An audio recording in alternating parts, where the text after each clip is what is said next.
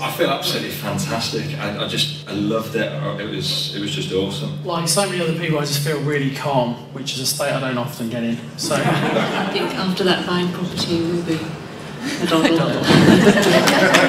like you said, it wasn't ultimately the firewalk that was the major event of the evening. It was everything else that led up to it.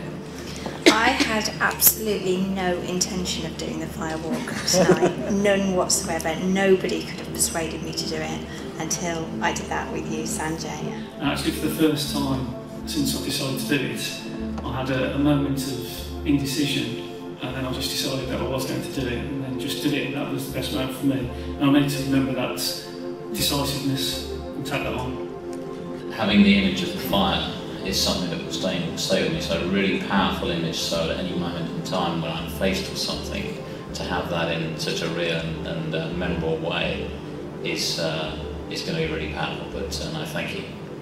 And um, I wanted to feel great pride for my wife uh, for having done it. I did momentarily, but fortunately, I've already let that go. the reason I came to this because I had some uh, real dark demons inside me uh, that I needed to get rid of. Um, and they've gone. They've completely gone altogether. And I absolutely, completely believe that I can now let go anything I need to let go and something else will come in that's better. Thanks. Like so many of us uh, who have done the, uh, the Robbins way, so to speak, of uh, marching over it, I believe that there was only one way of doing it.